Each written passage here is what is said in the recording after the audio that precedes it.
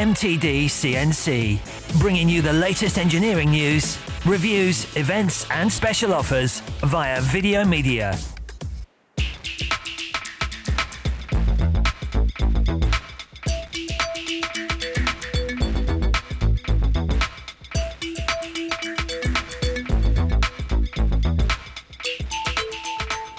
So, Trevor, you founded Lincoln Precision Engineering 26 years ago. Yeah. Tell us about the company.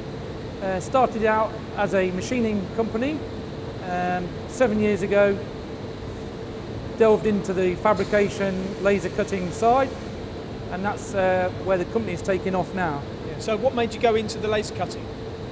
We felt we wanted to go further and do something slightly different, and we we saw a hole in the market for laser cutting, and And so, we're here to look at some of the Trumpf machines as well. So, I know you've got four of their machines. yeah, What made you go for Trumpf? yeah, we looked around um, all the manufacturers and felt Trumpf offered the best quality machine, the best service, the best backup. So that's where we were. Hence the reason you've now got four. Four, yep. I Haven't finished there either.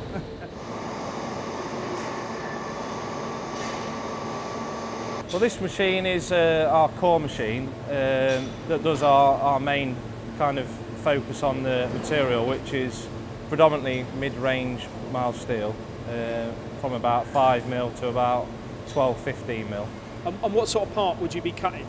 Uh, we do a lot for yellow goods, um, but we also do a vast amount of parts for various industries like construction, rail, etc. Yeah. And how many hours a day these this machine running? This machine's running about 14, 15 hours a day, uh, about 60 to 70 hours a week on average.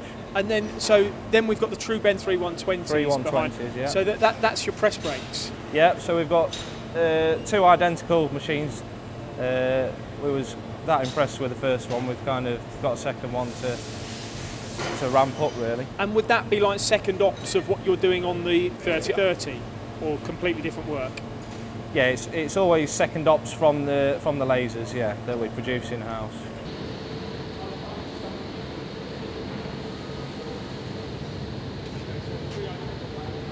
So it's a big investment, this machine, Aaron. Yeah. What made you go for the Brightline 5 technology? Well, we already had the, the CO2 existing machine, uh, and we wanted to widen the scope uh, and go with a with a fibre with this Brightline technology. And what does that actually mean? What does it do? It's a bit of a mystery, um, but it, it gives you a better edge quality on thicker materials. Right, so it's, it's a more diverse, it gives you more diverse capabilities. Yeah.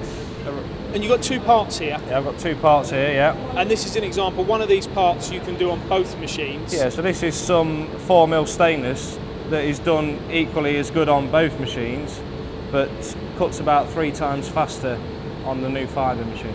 And the second one here, then you've got some uh, another block of stainless. Yeah, so I've got some 25 mil stainless here that's been cut on the fibre. Uh, with the CO2 machine though, we'd only be able to manage about half of this thickness, so before we wouldn't have been able to produce this part. So to summarise, you can do lots of different materials. Yeah. Uh, you can do thicker materials, and you can get better finishes. Yeah, so we can maintain the, the thicker materials with, with a great edge quality because of the bright line, and we can basically do all, all round materials. And the machine is so efficient that we're actually about a third saving on our carbon footprint as well. So it's a win-win all round. Win win all round, yeah.